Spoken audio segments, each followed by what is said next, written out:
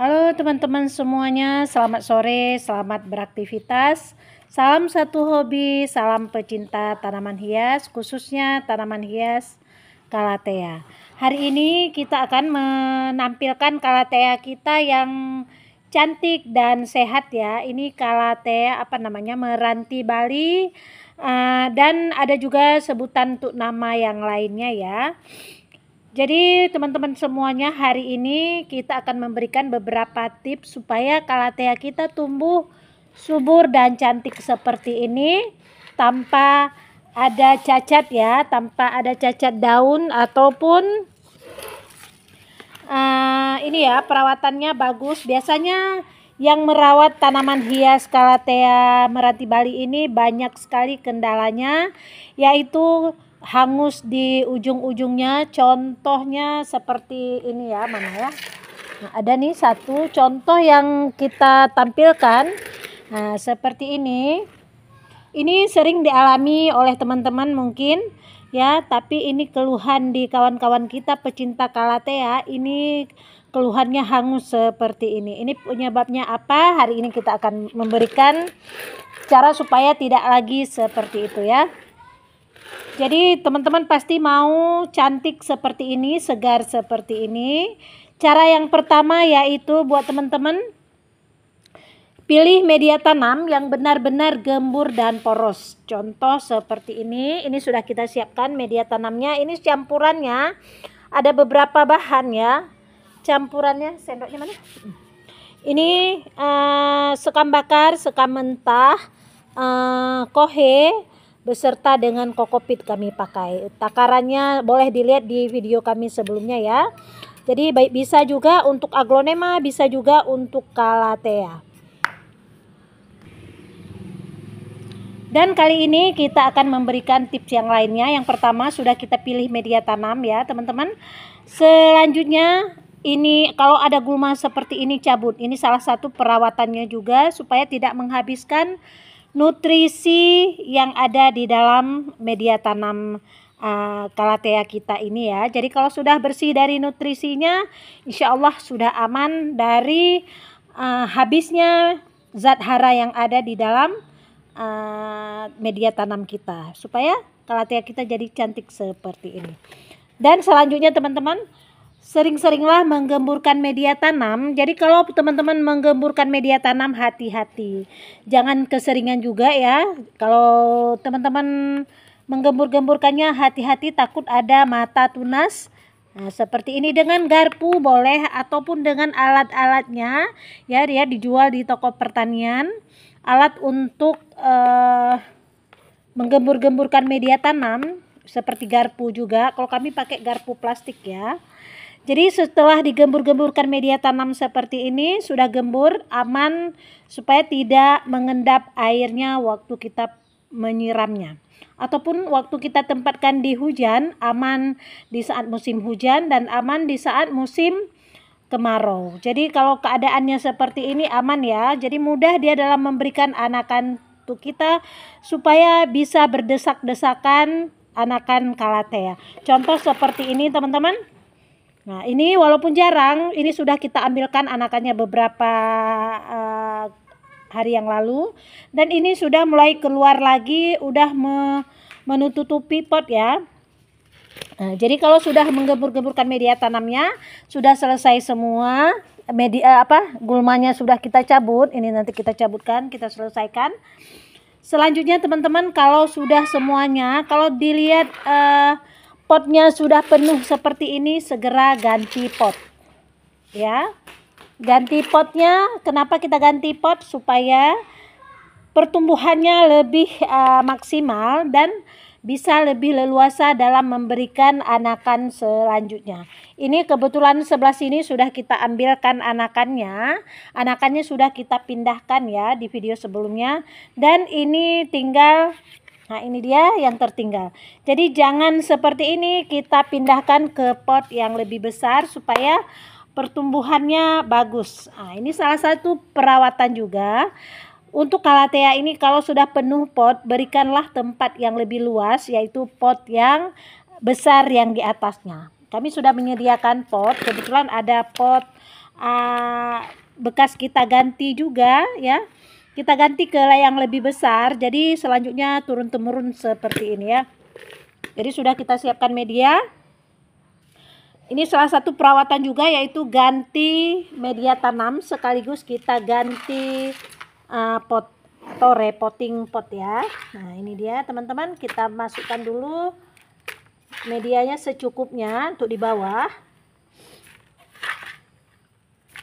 Oke ini kayaknya cukup segini nah, kita sesuaikan dulu dengan keadaan yang akan kita nah, kayaknya bisa ya segini ya. Nah, kita geser-geser aja sedikit supaya lebih aman. Lagi pilek nih. Selanjutnya teman-teman supaya kita tidak membongkarnya kita longgar-longgarkan aja seperti ini. Nah seperti ini supaya kita dalam memindahkannya lebih aman ya Dan selanjutnya teman-teman kita buat seperti ini Nah seperti ini Nah ini dia teman-teman Nah kita lihat uh, medianya gembur kan Medianya sangat-sangatlah gembur dan akarnya sudah di sini teman-teman. Nah, ini dia. Sudah di sini sudah hampir menutupi pot. Nah, jadi kita balik aja seperti ini. Kita sesuaikan, kita paskan di tengah. Ya, supaya aman, supaya cantik kita paskan di tengah. Nah, seperti ini contohnya. Nah, jadi kita berikan ruang untuk pertumbuhan anakannya yang sebelah sini sebelum kita memberikan uh, apa namanya ini udah terbalik tunggu dulu nah kita berikan lagi medianya sampai uh, penuh ya sampai penuh menutupi yang pot tadi ya nah ini kita sesuaikan ruang-ruangnya tujuan kita memberikan uh, pot yang lebih besar supaya pertumbuhannya lebih cepat dan uh, cepat merimbun dalam waktu singkat tetapi kalau masih di pot kecil pertumbuhannya jadi lambat. Nah, jadi seperti ini teman-teman. Ya, ini tumpah-tumpah sedikit nggak apa-apa nanti kita sapu. Ini biar cepat aja. Nah, cara seperti ini insya Allah aman dalam kita memperbanyak aglonema. Bukan aglonema ya, eh, kalatea. Karena udah terbiasa dengan aglonema. Kalatea meranti Bali ini caranya seperti ini kita sesuaikan ya nah, Insya Allah aman aman sudah selesai kita pindahkan ke dalam pot yang lebih besar ini kita sesuaikan dengan keadaan potnya ya ini salah satu perawatan juga kita selesaikan uh, satu persatu dulu ini sudah selesai jadi kita sesuaikan potnya kalau ukurannya kecil, contoh seperti ini, ini masih kecil ya, masih kecil ya kita sesuaikan dengan potnya yang kecil. Nah, ini dia. Sama juga dengan tanaman hias yang lainnya. Kalau masih kecil ya potnya kecil. Kalau sudah tumbuh besar seperti ini, kita pindahkan ke pot yang lebih besar. Mudah-mudahan ini jadi jagoannya ya. Nanti kalau sudah punya banyak anakan udah merimbun baru kita pindahkan ke pot yang lebih kecil-kecil lagi. Oke, selanjutnya teman-teman untuk penyiramannya, penyiraman uh, jenis uh, tanaman hias meranti Bali ini, kami menyiramnya seminggu dua kali ataupun tiga kali. Kalau musim hujan, kita tempatkan di hujan, setiap hari kena hujan pun tidak masalah. Karena kita sudah memakai media tanam yang gembur dan poros. Jadi tidak perlu khawatir lagi setiap hari terkena hujan. Karena waktu kita siram, dia akan ngocor ke bawah. Jadi tidak akan mengendap di uh, potnya ya. Airnya tidak akan mengendap insya Allah jadi sering-sering aja kita gembur-gemburkan supaya tidak mudah padat medianya. Ya tapi hati-hati yang buat teman-teman jangan terlalu semangat untuk menggembur-gemburkan media tanamnya jadi uh, rusaklah tunas-tunas barunya Oke, setelah penyiramannya, selanjutnya teman-teman untuk penempatan kami menempatkannya di bawah uh, paranet, di bawah sinar matahari juga.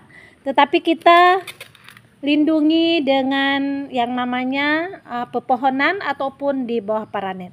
Kita tempatkan di bawah paranet supaya terlindung dari sinar matahari ya, tetapi tetap terkena sinar matahari secara tidak langsung. Jadi tetap bisa berproses untuk uh, memasak me ma makanan di dalam media seperti ini dengan adanya sinar matahari. Kita sudah membuatkan video juga tentang manfaat sinar matahari untuk tanaman hias kalatea maupun tanaman hias lainnya. Jadi selesai kalau sudah uh, penyiraman, tinggal satu lagi ya. Satu lagi tentang pemupukan. Kalau kami memberikan pemupukan untuk tanaman hias ini yaitu Nah ini kami yang kami berikan ini dia teman-teman karena kita memberikannya untuk daun. Kalau teman-teman mau memberikannya untuk bunga boleh juga.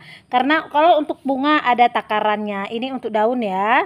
Jadi masing-masing ada pemupukannya tersendiri. Kalau kami pakai ini dan juga memakai yang lainnya. Ini ada juga kita siram. Kita siram de, eh, eh, seperti ini.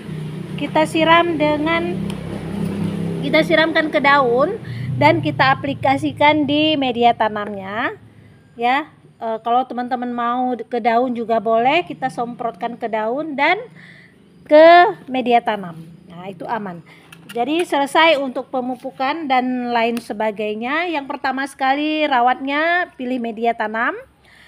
Pilih penempatan uh, pilih pot yang sesuai dan pemupukan penyiraman ya. Selesai semuanya berarti selesailah video kita hari ini tentang tata cara perawatan Calathea meranti Bali supaya tumbuh subur dan sehat seperti ini tanpa ada daun yang hangus ya Nah, ini seperti ini mulus ya daunnya, cantik dan sehat, sehat dan segar.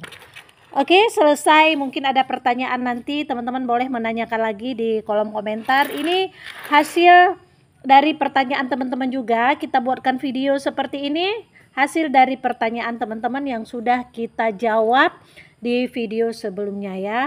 Jadi hari ini kita buatkan video kita rangkumkan seluruhnya tentang pemupukan apa yang uh, kami pakai itulah dia sudah terjawab dan penempatannya di mana sudah kita jawab juga ya. Oke, terima kasih banyak buat teman-teman. Mudah-mudahan Kalatea meranti Bali teman-teman juga bisa secantik dan sesegar ini. Oke, selesai. Terima kasih banyak. Udah asar. Kita istirahat dulu. Jumpa lagi dengan tema selanjutnya.